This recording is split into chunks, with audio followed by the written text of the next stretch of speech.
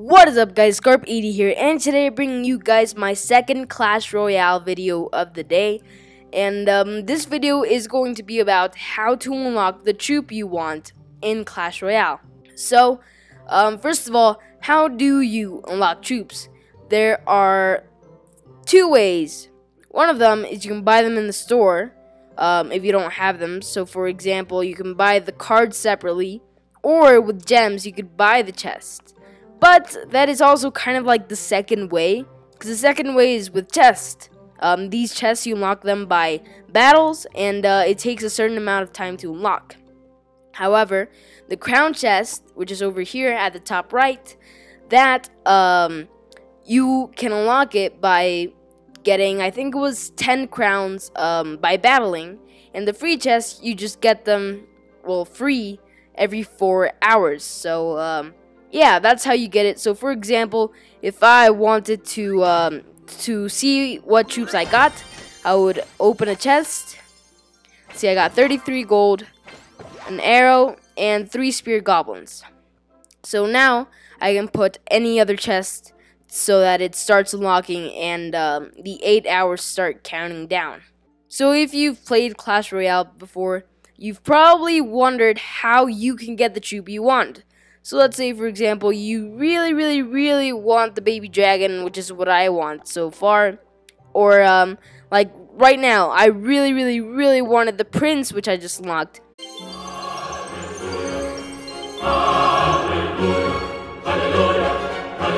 And the um, goblin barrel, which I also just unlocked. So, here is what I think is the best way that you can unlock um, the troop you want.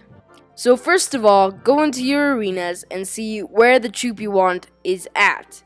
So for example, the Goblin Barrel is at Goblin Stadium, which is the first arena. And then the Baby Dragon and the Knight were at the training camp. So by completing the first seven uh, battles, you can already unlock these. So the first tip I want to give you is if, for example, you want to unlock the Baby Dragon, and you're at Goblin you're at the Goblin Stadium, which is 0 plus trophies, then I would suggest trying not to move forward to Bone Pit. Because as you can see, when you move on to Bone Pit, you can unlock 6 more troops, which means that you have less chance of unlocking the troop you wanted because now there are 6 more troops that you can unlock. Right, so I hope you understood that. It's basically that right here, for example, I can unlock six troops and I want to unlock one out of the six troops. But if I move on to here, then I would like to unlock one out of 12 troops. So I, I would have 1 in 12 chance instead of 1 of 6 chance.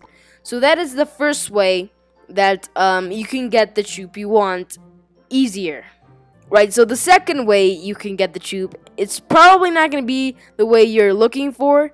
And uh, probably not all of us are going to be able to do it. But in achievements, whenever you complete a couple of achievements, you get gems. Like right now, there are only a couple of achievements, but you know, as the game grows, there are probably going to be way more achievements.